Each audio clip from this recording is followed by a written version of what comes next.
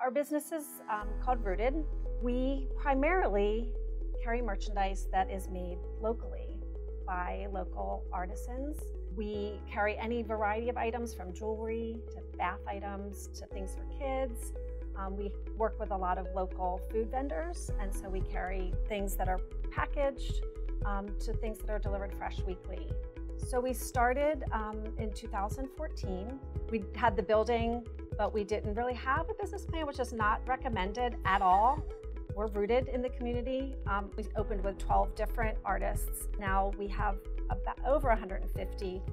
We we realized, you know, Rooted was becoming successful. That we had, you know, questions and just we wanted guidance, um, and that led us to SCORE and meeting our mentors. Yeah, the mentoring has been, I, I can't even yeah. really begin to tell you how important it's been to, to our business because, you know, we were new at this, we kind of jumped into it, and we went to them first with questions like, you know, what do we tax and what don't we tax? I mean, simple things, seriously.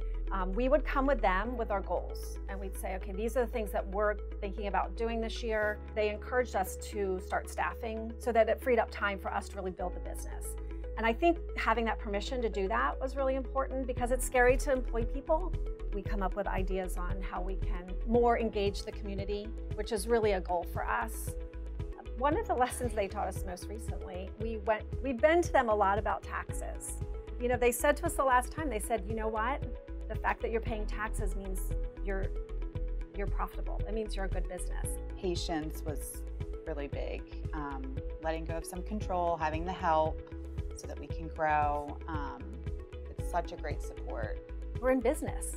A lot of businesses don't make it five years. So we've consistently worked with Steve Crumbrine and Reader um, throughout since 2016. So they definitely are the people to us that represent SCORE. And they've introduced us to people, and that's mm-hmm. been awesome too. But they really. They're a joy to work with. They are, yeah. yeah they, we've really, really enjoyed them. Yeah. So we thank them.